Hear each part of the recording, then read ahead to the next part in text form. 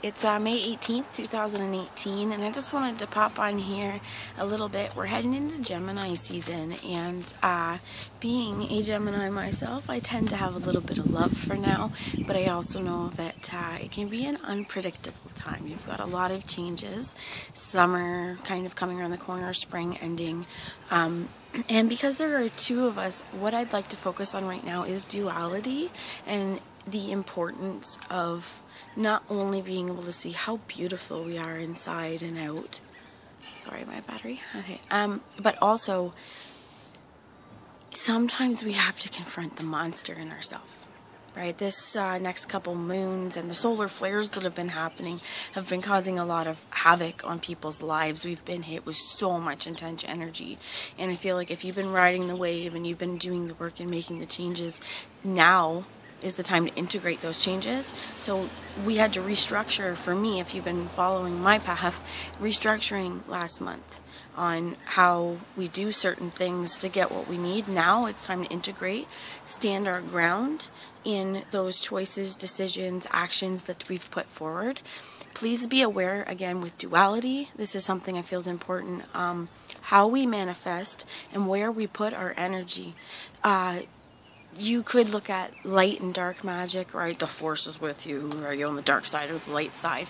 When we have a lot of excitement and energy into a project and we put it out and we exude it and we're vibrating with that, that's creative, constructive energy.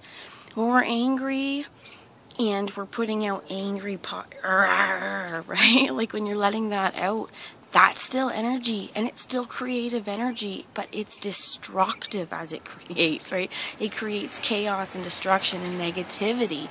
And as I say that, here comes the, oh, please cleanse me, spirit, and allow the negativity to go away. Um, but over this next little while, please just be wary of your duality within yourself. Honor your shadow side, honor, honor the dark by acknowledging it look at that monster in the mirror. Do you like it? If you don't, how can I change it so I like and love what I see in that mirror? Um, okay, so I just want to do a little bit of a uh, reading, just kind of, I've got some past life cards, uh, what I'd like, uh, Doreen Virtue, just going to do one thing for the season of Gemini coming up, that this month, if you're resonating, you may have uh, some karma that you need to work through for some past lives. And this could even be like different time periods within this life. Um, okay, so here we go. Spirit and my team of light. Could you please give me one card for anybody watching this? It's on uh, just a heads up on where we may be looking at some healing. So going to take. Oh, here we go. Male, female. Again, what did I say about embracing dualities? So this particular one, this male, female, is really about um, honoring the male, uh, the masculine and feminine within ourselves and balancing out those energies. Um, the same with the positive and the negative energies that we get out, uh, we put out there. So this means not only being able to get things done and uh, kind of being able to see things detached in logical brain, but this also means emotions um, and stuff like that. So that is something that in Gemini season you're going to be looking at uh, the dualities, the masculine, the feminine, and doing that. So, also, what I'd like to pick is the Energy Oracle. I'd like to pick um, a card, please, Spirit, to help get through this, uh, any blockages and balancing out our male and female dualities. Please, oh, there we go. One card, please, Spirit. Well, it wants to.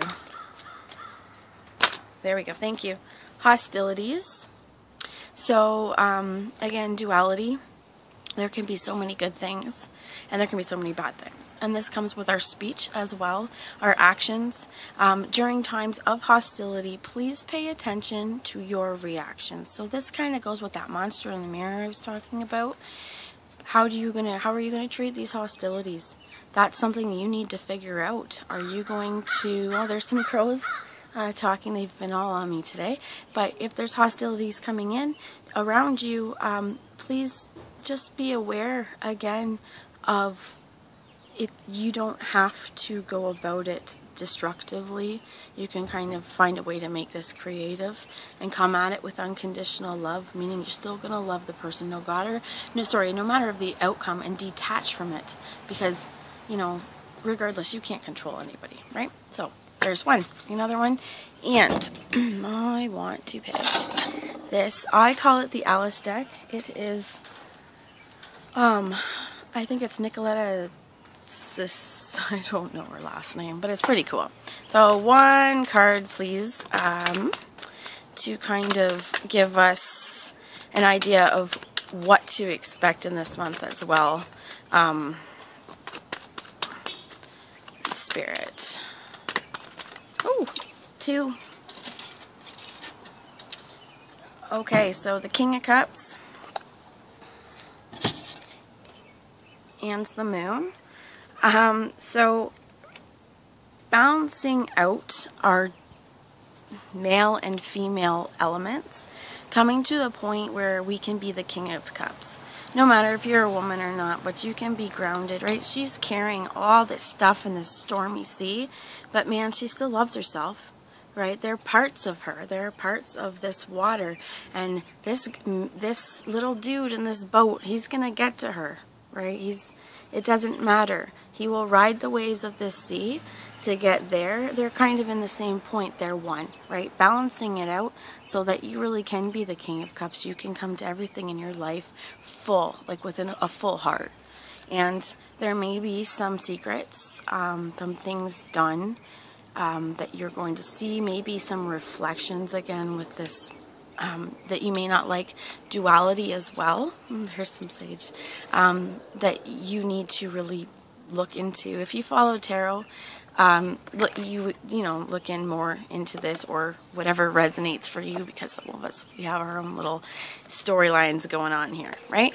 Uh, okay, so one last card, and I will make it brief, is from the Archangel Gabriel uh, deck, and I would like to see oh, something flew out here editor. So I've had that before. Sometimes I need to edit my speech. So um, if there's hostilities as well, edit yourself before you start talking, okay?